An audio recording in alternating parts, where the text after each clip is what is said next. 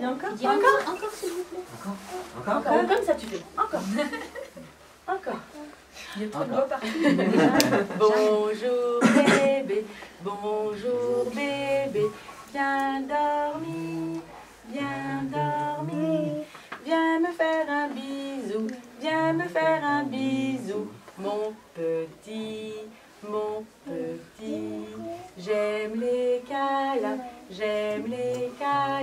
Toi aussi, toi aussi. J'aime papa, maman, j'aime papa, maman. Doudou aussi, doudou aussi. Bravo Donc le signé bébé, ça fait 3-4 ans qu'on le fait déjà à la crèche. Donc on le commence dans l'unité des bébés. Donc ça, ça consiste avec euh, plusieurs signes bien définis. Tout simple, manger, euh, boire, dormir. Ça permet de, communiquer avec l'enfant parce que ben, l'enfant il ne sait pas encore parler, mais les premiers signes qu'on voit ben, c'est bravo ou au revoir. Donc du coup on a décidé euh, en projet avec toute l'équipe d'instaurer ces, différents signes.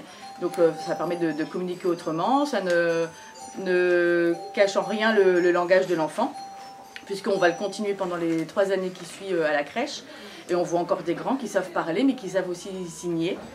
Et du coup, euh, Il parle en signant. ils parlent en signant. S'ils sont fatigués, ils vont nous redire dodo. S'ils ont faim, ils vont nous dire manger. S'ils en veulent encore, ils vont nous dire encore.